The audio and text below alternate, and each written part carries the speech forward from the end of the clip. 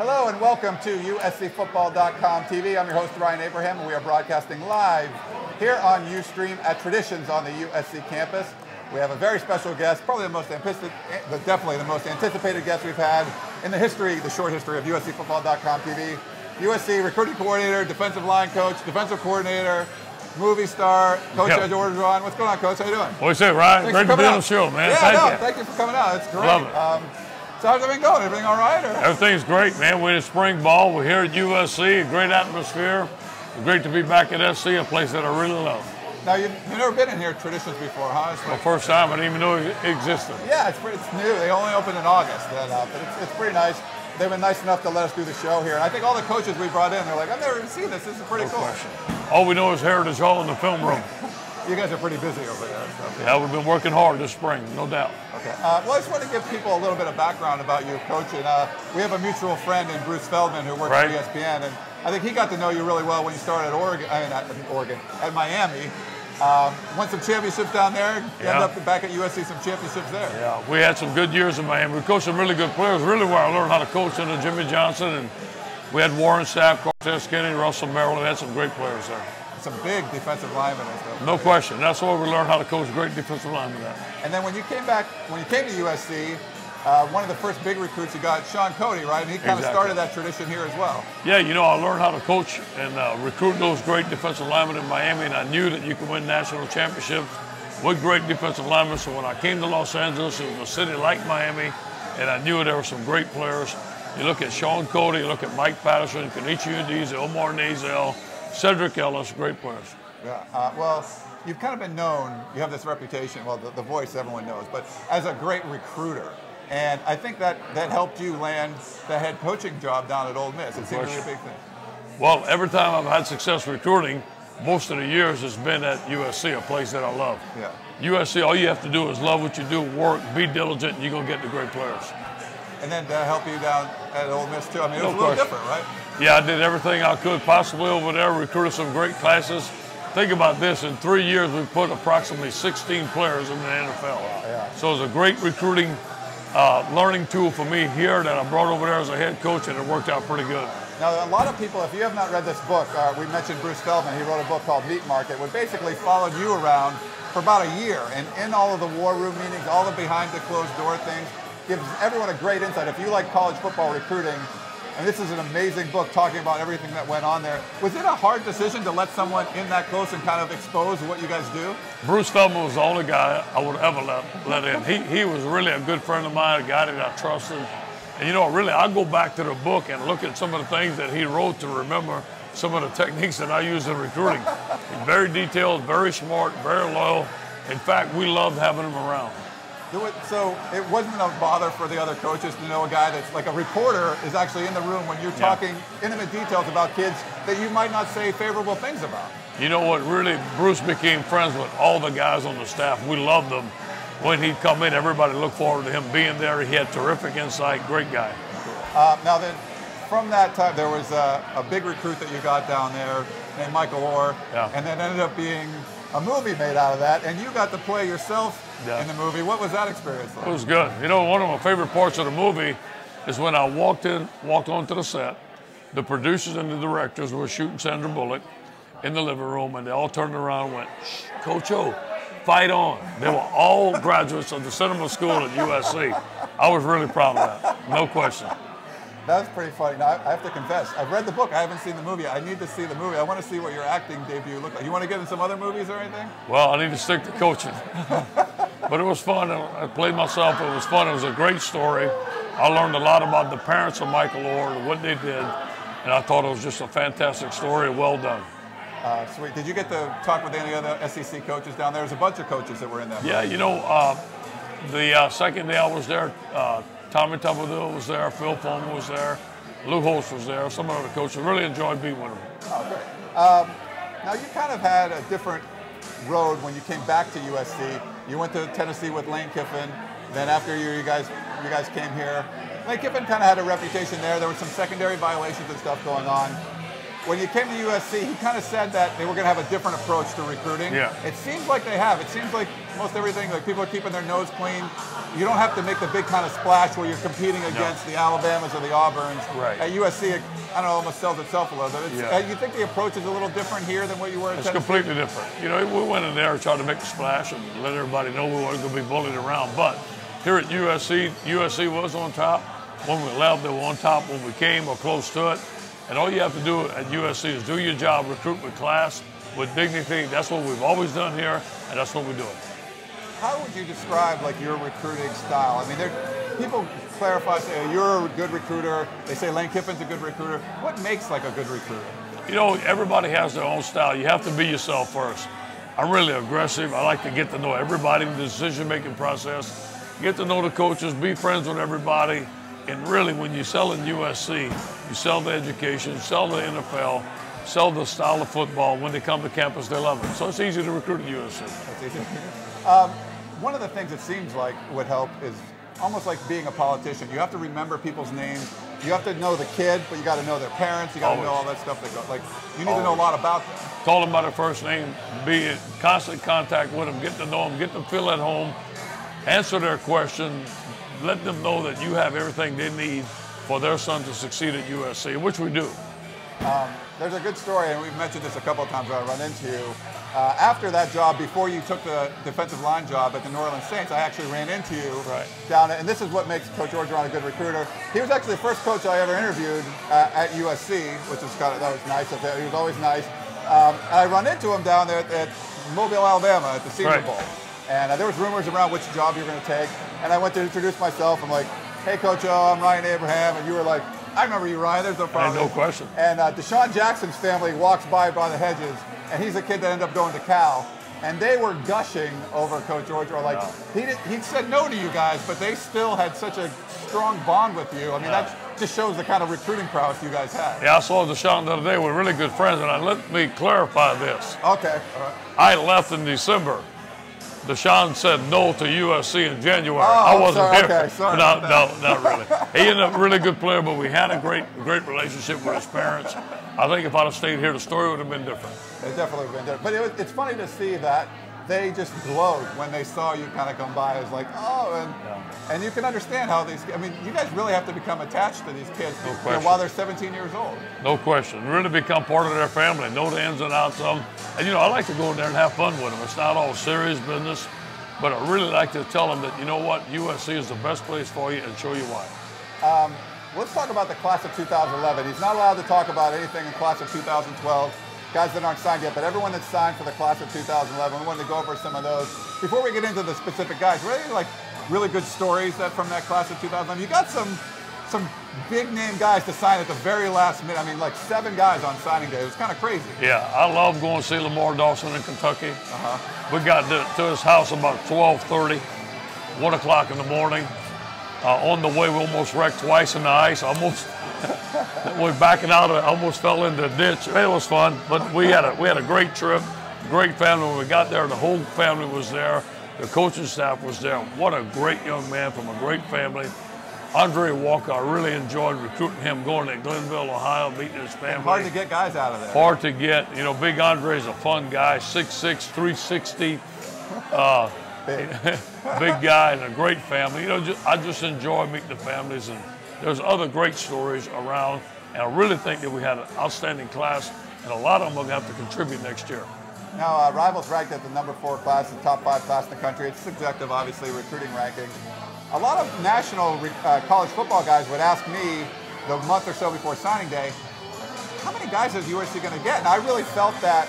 I mean, Lane Kiffin you guys were pretty mum on the strategy, but everyone I talked to said, look, the number of offers that they're putting out there, it looks like they're not going to stop at 25. They're going to try to get early enrollees and, and sign a bigger class than normal. Because under Pete Carroll and you guys, mostly 18, 19, 20 Exactly. guys. This year, 30 guys. I mean, it was a big class. Yeah.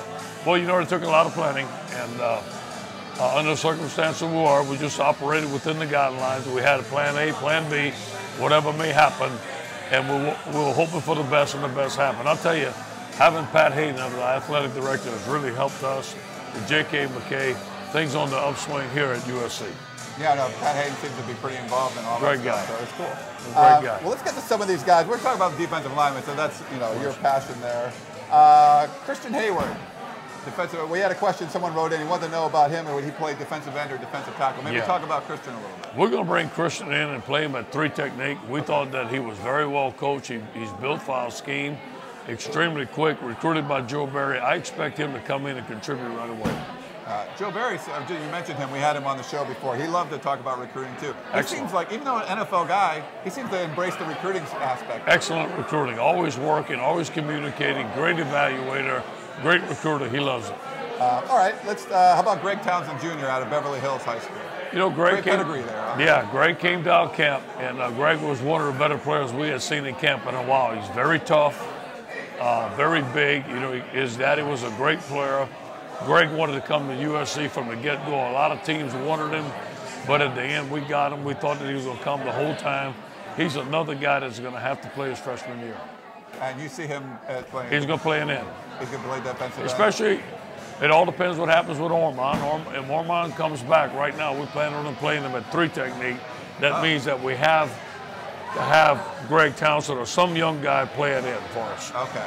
So that was actually one of the questions you had. Do you, do you feel Armond Armstead's going to move back inside and play there? Yeah. If he's able to come back. Yeah, that's So- our plans right now. But he can play both. But right now, you know, losing Jurrell Casey, which we thought that kind of hurt us a little bit, and moving Armond inside would help us. Okay. Um, with Greg Townsend, he seems like a pretty athletic guy. We, I saw him at the uh, Serra Beverly Hills uh, playoff game. He caught like a 60-yard pass at tight end as well. I mean, you when you're recruiting with guys like that, do you look for athleticism to play basketball or other positions on We love them to play basketball. We like them to move. One of the things that when I got here that lacked with the defensive line was the quickness that we had with the Wild Bunch.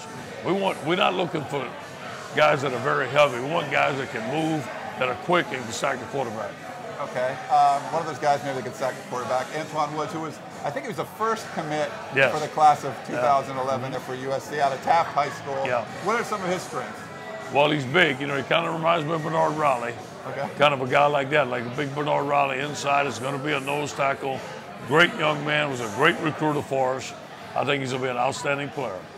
Um, so he's definitely going to play an inside kind of There's guy. no question. He's a nose tackle. Now, is he a guy that you think can uh, is probably going to have to redshirt, or do you think he's a guy that can kind of come in and get right away, or do you need to like change his body around a little bit? Well, I think I think when he comes in, it depends what type of condition he's going to be in. Obviously, we have Christian Tupou coming back and DaJohn Harris, but we need another guy to step in in there. In the rotation that may be him. One good thing about the guys that we recruited, and I know you're going to allude to this, is this year we're going to have a rotation. I want to play at least eight guys to stay fresh throughout the game. That seems like what a lot of teams have been able to do. It wasn't something you guys could do a lot of last year, but it's almost like unless you do that, you're, the guys aren't going to stay fresh. You play like an Oregon, you got to get Yeah. a rotation. You know, the game is so fast, it's so spread open, and all the screens, all the jailbreaks, all the draws, all the pass rushes, you got to give you guys some breaks. Now you got the recruit in the South. It seems like one of the trends, like maybe a lot of quarterbacks have come from the West. It seems like a lot of those big defensive linemen that are athletic have come from the South. Are you seeing a little bit more of that in California, or you got to have to look elsewhere too? Well, we'll find the best players, but I will say this: California's been good to us. It was good the first time.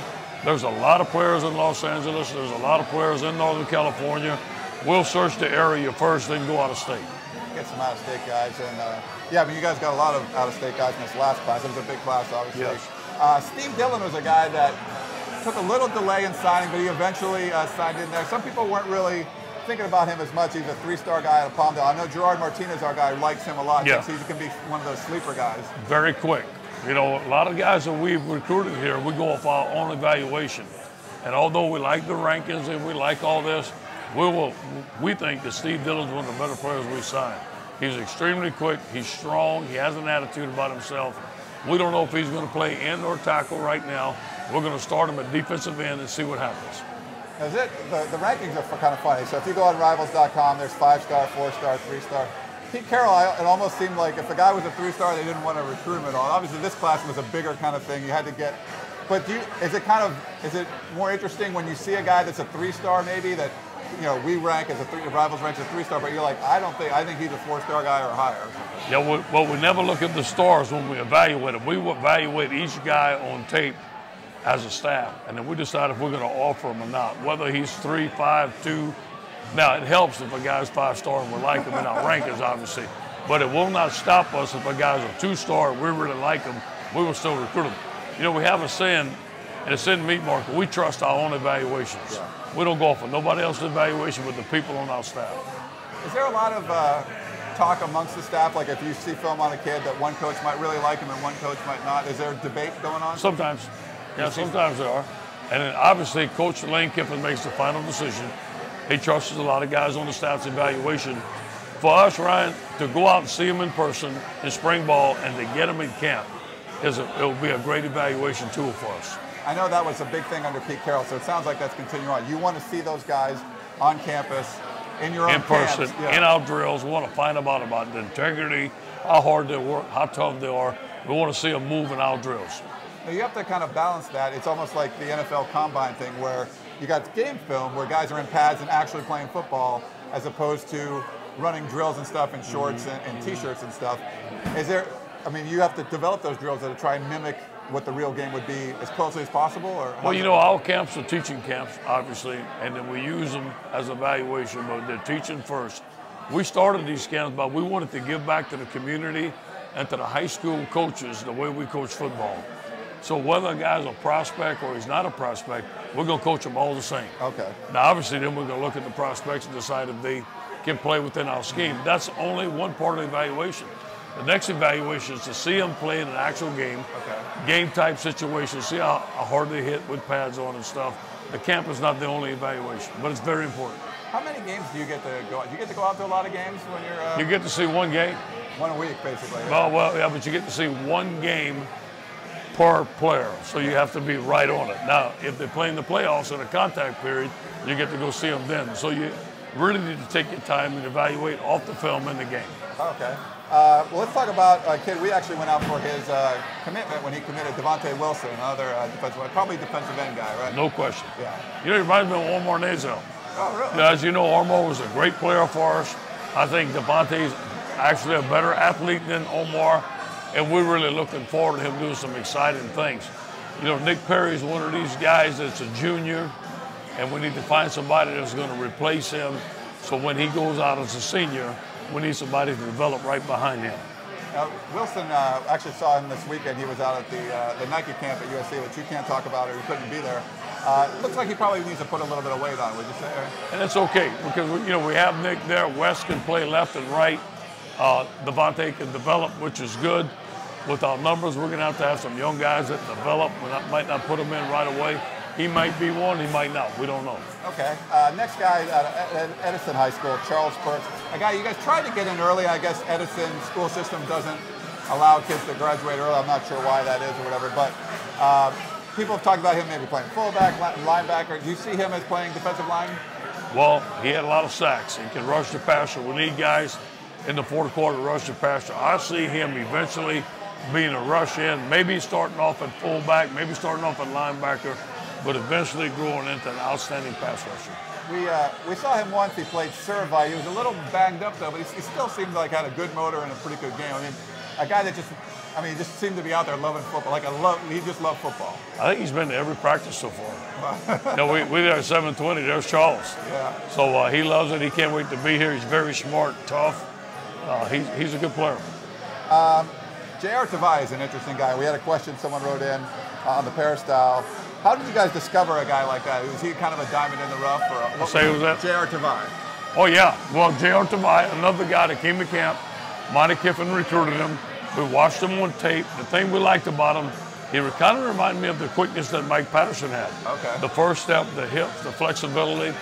Uh, we like, he played tailback, he played quarterback. Yeah. And uh, we, we, I really like this guy. I really think that he has the quickness to be an outstanding defensive lineman. Do you think he would play inside probably, or no question? He would be like an inside guy. I want quickness inside and speed. Yes. He's an interesting guy because if you talk to some of the coaches in his league, like we talked to. Uh, I can't remember the guy at Serra, the coach's name, but uh, he was like, this is one of the best players we've ever played mm-hmm. against. But he just didn't seem to get the kind of attention that some of the other players. Yeah, for some reason he was a kind of an unknown, but we like those unknown because they come here, they're hungry, and they want to prove themselves. All right. Well, it's an interesting class. Is there any other guys from the? I can't think of any other defensive linemen, or is there someone, or anyone that you got to try and make a defensive lineman? I mean, you want to make a Well, defensive I'm going to try to. I'm always recruiting, and I'm always looking at guys that are in a position to become defensive linemen. But for right now, that's it. Okay. Uh, well, let's talk about the team right now. Uh, you guys had some really interesting off-season workouts. So if you don't know, after the season ends, the team gets 15 practices in the spring where coaches can be out there. The key is they have coaches and footballs on the field. That's spring football, what we're seeing right now. But before that, Coach Ausmus, who we had on last week, Aaron Ausmus, the strength and conditioning coach, gets them for about eight hours a week. He usually works them out four days a week, uh, four days a week, and can work out uh, movement stuff on the field and get in the weight room. But then it was interesting when the coaches could actually come out there and you could run them through. I think you call them team runs with all these different drills, and you're out Yeah. there yelling at them, doing the I don't know what those crab rolls are. Yeah. What, what are those mhm. called? That's all grass drills that we Grass do. drill? Yeah. and they, they're very they're very disciplined. Teach them discipline and to make them do things the right way. You know, a lot of times we lost three games by one play, and you never can know when that play is going to come. So we got to be disciplined from the first play all the way to the last, and that what that, that's what that drill's for. I'm telling you, a guy that's really come to our staff and brought a lot of great ideas is John Baxter. He's a great, great coach. He brought that drill to us, and has really taught us a lot. No, he- yeah, he kind of runs that drill with you. I mean, you're the voice out there, obviously. Yeah. You got to yell. And John Baxter, you can hear him too. Yeah. But it's, it's, it seems like 10 minutes for the, your station. I don't know how long it is. Yeah. They're crawling around, stay off your knees, Yeah. spinning and jumping, diving everywhere. I mean, Yeah. it looks like they're having fun, but it looks hard. It's something that we want to break them down. We really want to break them down mentally, test their courage, test their team unity. We don't want them nagging at each other and stuff like that. If a guy's offside, the whole team has to come back. And the whole idea was to make them go through tough times. So when we go through tough times in games, we can persevere and go through adversity. It seemed like the guys had a hard time the first couple workouts you did with that. Then they kind of started getting used to it a little They bit. do. They do. They adjust. And just like a game, you know, they can say, hey, we've been through this before. Now we know what to do. Now you get there was eight new guys out there, uh, early enrollees. That that was their first. I mean, you got some guys coming from junior college, but they never did anything along those lines. Did you see them kind of adjust? It took them a little longer. Or? It was a shock. it was a shock to most of them, but you know, we got some pretty good players, some good guys. They went through it and now they know what to expect. Uh, yeah, I know. Uh, you'd see some guys kind of lose their lunch, so to say, on the side a little No bit. question. That's expected. We're not doing our job if they don't lose their lunch. It was fun. I remember seeing some of the new guys come, even the big name guys like a Joe McKnight or whatever when they would get recruited. Guy you recruited actually at Ole That's Miss. right, That- yep. Um, but coming in and going through those workouts and just then know puking on the side, it just takes. It seems like it takes a little while, but it's something you don't do in high school or junior college. Well, they do it, but the speed and the intensity and the demands of which we do it is, is totally different. And then the competition is higher. Know, most of these guys would have stud in their school.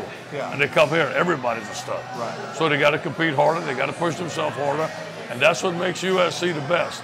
At practice at USC, you're going to go against the best offensive and defensive line in the country. You're going to go some of the best players in the country. That's what makes us great. Okay. Uh, well, let's talk about spring football. So the big, I guess, the big news coming out early is instead of at four o'clock in the afternoon, spring football at seven twenty in the morning. Yeah. Do you we like, like, that? it. or- I love it. I'm an early morning guy. We get them early. I think it gives them the opportunity to come in totally focused. We get our work done. They go to class the rest of the day. They have actually more rest. It gives the coaches more time. We all like it. Do you think the players like it, or? I don't care if they do. If it just makes us better, we're going to do it. And really, I think they do like it, and I do care. I said it in a kind of way, but you know, we're going to have to play better next year to get the USC football, and that's what it takes. That's what we're going to do. It seems like, I mean, you're still going to have, if you have to work 18 hours or whatever it is a day, you still got to work it out. But it does seem like you can kind of knock that out early. You guys are even doing meetings before practice, so it's, it's- Exactly. guys are up at five, 4:30, 5 o'clock. They're getting taped about 5, 5.15. Meeting starts at 6. But remember this, their day finishes at 10 o'clock with us. They have the rest of the day to go to school and relax, and they have an evening. When you practice in the evening, you're off at 6.30, you eat, eat supper, and then you go to study hall. Those guys are getting home at 10.30, 11 at night. So that's the difference. It is a big difference. And you do a lot of those off-season workouts early in the morning, Yeah. too, so it kind of goes along. I mean, you guys talk about doing that in the fall as well, right? Yeah, yeah, that's Coach Kiffin's plan. You know, you look at the uh, the early off-season workouts are voluntary at certain times when you want to come in to work. Most of our guys choose to come in at six, so they like doing it. They do want to get in early. Uh, the only, I mean, it seems like other teams are doing this as well. I know Oregon's doing. I think I think Alabama might have been doing as well. But when you practice that early, is there an adjustment when you have to play like a night game, say at the Coliseum, where you're used to working out early and then you, you play Yeah. the actual game later? Yeah, I'm, I'm sure there is an adjustment. I'm sure Coach Kiffin has thought that out ahead. But for right now, you know, we're focused on spring ball. It's going great. The guys have a great attitude. Okay, let's talk about the defensive line right now. Uh, George Uko is a guy, redshirted last year. We got to see him in the offseason workouts. He was playing tight end and catching passes. He looked, I mean, he looked really good out there. You guys must be excited about him. Really, you know, when we got in here, we had two two weeks to recruit. We knew George from Tennessee. We were recruiting him in Tennessee. I knew he was a good player. And we didn't go after many other guys because we didn't want to reach. Yeah. We wanted to get all type of guys. But he is a USC defensive lineman. He's a great young man.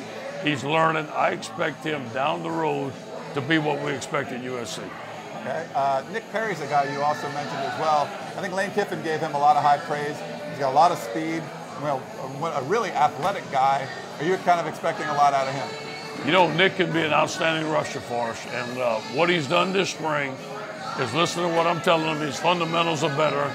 He's in better shape. Last year, you know, he got hurt right before camp ended, and it hurt him towards the end of the season. He has to stay healthy. We need him to have a double-digit sack season in order for us to be great on defense. Um, and then you guys got a couple guys back, uh, Wes Horton and Christian Tupou. Uh, they were just cleared for full contact, I think, this last week, uh, just the last practice drill, the Mm-hmm. Yeah. first time we really saw them out Yeah. They've been out practicing, Yeah. but not like full contact drill. You know, Christian's the heart and soul of our football team. He's a great leader. We missed him last year. It helped him last year to be a, a year, year with me, not play, learn the defensive scheme. He's very smart. We expect him to have a great year. Wes Horton led the defensive line in sacks last year. Tremendous rusher. He's getting better at his run fundamentals. He's going to be a junior. I'm happy about Wes and Christian being back. Yeah, I mean, certainly you guys got some talent there. Uh, Armond Armstead, the guy we mentioned. What are your expectations for him? Do you think he's, I mean, he's just got cleared recently to run and do some lifting and stuff. You know, I don't know what's going to happen with him. Obviously, uh, that's totally up to him and his family and the doctors, yeah. and they got to go through more tests. But me thinking positive, I totally expect him to play and be a great player. Um, and you talked about him playing inside, which would be interesting. But another inside guy that was kind of, I guess you could say he was forgotten in, you know, before, DaJohn Harris. I don't know, just when you came in, it seemed like it was. He just turned a, turned a corner. You know, I think every time you, when, when you have a coaching change, everybody starts with a clean slate, and they gave this guy a lot of opportunity. He's extremely quick, has good talent. You know, he has trouble sometimes being in condition and stuff, but I think last year he played pretty good. Uh, this year, I'm going to work on his conditioning very hard. He's one of the more talented guys that we have. So you guys lose Jurrell Casey, but Christian Tupou seems like a guy that can kind of step in and fill that role. You talked about him being, you know, a leader out there. If you watch, uh, well, you can't watch spring football, but if you're out there, we put some videos up there. He's the guy after everyone's stretching. He's running the, the drill. Yeah. He's getting everybody Yeah. fired up. I mean, he seems like it's going to be. I don't know if he could completely take Jurrell Casey's place, but it's going to be pretty close. Yeah, you know, being a captain is an earned thing. The players respect Christian. He earns it by the way he works every day, the way he shows up, the way he goes to class. He's a Trojan through and through. I mean, this guy's a grown man, loves football. I really think he's going to have a great year for us. But again, he came back to practice, a little rusty right now, Yeah. working on some things. It's going to take all the way up to the season to get him ready. Okay. Uh, Claire, do we have any questions coming in, or we do have some questions? Okay. Sorry. Okay, Coach, can you hear me okay? Yeah. Okay. Sean Face, a viewer, wants to know what does your prototy- proto- prototypical D lineman look like and what should his skill set be? Uh, you know, Mike, all of them come in different shapes and sizes. The thing I look for is quick feet, hip flexibility, long arms, getting off of blocks, and I like them to play with a certain tenacity. Uh, you know, Mike Patterson was 5'11 and a half, probably our best lineman ever here. That when I was there, he was quick, had great leverage. Shaun Cody was an end, moved to tackle. You know, we just they just come in all shapes and sizes. But the one thing I will say with the great defensive linemen that I coached, they all had heart and they loved the game. Okay, and Lance in Seattle wants to know who do you think is the best player you've ever coached? You know, you got to you look at Warren Sapp. and he's probably one of the top players I've been around. There's no question. Uh, Cortez Kennedy was a great player. Those are great linemen. You know, here at USC, we had a lot of great players. Troy Polamalu, I didn't coach, but was one of the best Trojans I've been around. Mike Williams was a great player. We've been so fortunate to be around great players. I think overall, Sapp was the most dominant player. And USC Trojan 55 wants to know who's the most improved D lineman so far this year? By far, George Uko. You know, he redshirted last year. He's coming along. He's really listening. Uh, we midway through spring ball, he's showing signs of being a great player. Okay. Cool. Are all good? No, we got more. Oh, one more. I'm Yeah, sorry. we got okay. a couple more. Everybody Okay, wants no to talk problem. to That's Coach great. No, that's perfect. Keep them coming. Yeah. Uh, viewer Polydad wants to know how do you like those early morning punishment runs? Say it again. How do you Early like those uh, early morning punishment runs? Oh, I love it. I love them. I, I, I don't like the guys to be a part of them, but it does show discipline. It shows accountability. And you can see that when we started the runs, the class misses were less, the tutorials were less. It's just part of being a Trojan. It gets me up. I'm always up, so I have somebody with me, so I like it. So those runs are if a guy is late for a meeting or something like that. If you get your name get on the with, list. They got to be with him at like five in the morning, doing some ungodly thing. you enjoy that? Don't you? Well, I don't enjoy that they have to be there all the time, but I really enjoy seeing the progress that some of the guys make. Once they come once or twice, they don't want to come back. They're not late for a meeting again. Okay. Okay, and Trojan Head 714 wants to know any chance that Kennard moves from back to D end? I'm always recruiting Kennard. Just know that. Uh, you know, really, we moved him there because there was such a deficit at linebacker. I think there's always an outside chance that he moves back at defensive end. We just need to see what happens in order for us to put the best 11 on the field. Okay, and Bruce Feldman wants to know. Bruce Feldman. Oh no. He's tuning in. Do you miss fried chicken on a stick or Bee's barbecue more? I miss fried chicken on a stick, believe me. You know, Coach Kiffin is on this big health kick, so we don't have any. We have turkey bacon in Galen Center. I don't like turkey bacon, so tell him I miss the fried chicken on a stick, especially Fridays with him and Barney. Where was, where'd you get fried chicken on a stick? Where, We bought them at the gas station, and Bruce was there, and uh, that was kind of like a Friday morning tradition with my staff at Ole Miss. oh, that's And one more question. Um, what is the D line doing to prepare for Oregon's spread offense this year? Well, you know, we need to develop more guys um, that can rotate in and out. Uh, you know what? We have to tackle and put more pressure on the quarterback. There's some speed there, so we might have to play four guys with a lot of speed at one time and they'll and able to chase those guys down. Uh, one of the follow-ups to that, someone posted, J.D. White from Washington, D.C. wanted to know, first of all, I wanted to make sure you recovered from your illness. Are you okay? You're, I know you're on crutches I'm, I'm about 90%. You're about uh, 90%, okay. And then I'll, I'll say this to you. The last thing I wanted to do was limp into the Coliseum in my career. It Uh-huh. happened. It's over. We're going to be better for it this year. All right, well, so he wanted to check on your, that's good, good prognosis there. Um, but he felt that the, D-line energy maybe wasn't all the way up to snuff last year at times. What are you guys doing to ensure that all four quarters you'll be able to bring it this year? develop depth. We got to put guys in that we can we can put guys in in the fourth quarter. Our guys got tired. You can see it on the film, which is no excuse. But we need to keep fresh guys in, rotate them in the first quarter, so when it comes down to the fourth quarter, we can get those sacks that we needed. Is that the one thing you would look at from last year? Is if you wanted to change one thing, it would be maybe just add a little more depth so you could rotate some more? or- No question, our pass rush was not nowhere near where it's supposed to be, especially in our two-minute drills. You look at it, we win three, two, three two-minute drills and win three more games. So in that uh, two-minute drill is stopped by a sack fumble. So that is definitely a point of emphasis this spring. One last thing for me, we talked about the secondary kind of playing a little bit better. It looks like guys in, on uh, defense at a whole at spring ball, they're kind of more on the same page. It looks like it's a more cohesive unit. Do you think one year in the system has kind of helped the guys understand everything more? Yes, And it, it has helped us to understand the talent level that we have and put them in position to make plays where they can make them. We are working more on alignment, assignment, fundamentals, and tackling and getting back to USC football. Okay, Well, coach, are there any other things, Blair? I think we're good. Okay, well, we appreciate you spending all the time with us. I know Thank you got to be out on the road recruiting and getting ready for early morning tomorrow. spring football. But thank you so much for joining us on USC Football. You guys are the best. Thank you. Thank you so much, Coach. Y'all. All right, babe. All right, hope you guys enjoyed that. We're going to be back in uh, a minute or so. We're going to talk some more recruiting with the class of 2012 and 13, which he can't talk about. Gerard Martinez, USCFootball.com national re- recruiting analyst. Stay tuned for that.